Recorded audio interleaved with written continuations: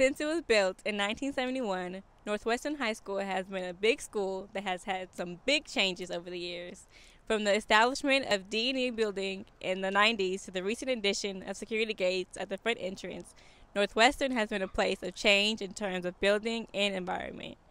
Most recently, the school has undergone some construction to bring a new sign to Northwestern, replacing the old one that stood in front of the school since Northwestern first opened its doors.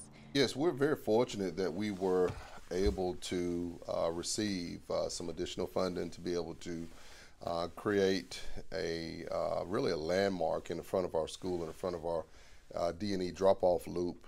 Uh, with a new digital sign, we feel that the sign gives our parents and our community insight on the um, things that are going on within our school.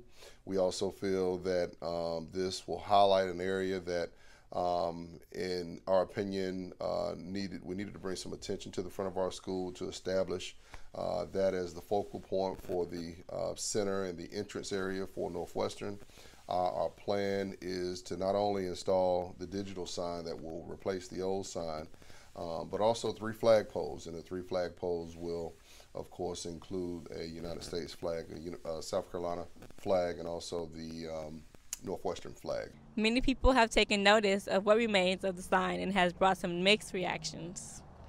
So I didn't even know we had a sign to begin with. So a digital sign going up will be pretty cool to see from the road. But obviously, since I didn't know there was one to begin with, it'll stick out more. They should have never torn that sign down. They should have put the electronic sign that they're putting up somewhere else. That sign was history.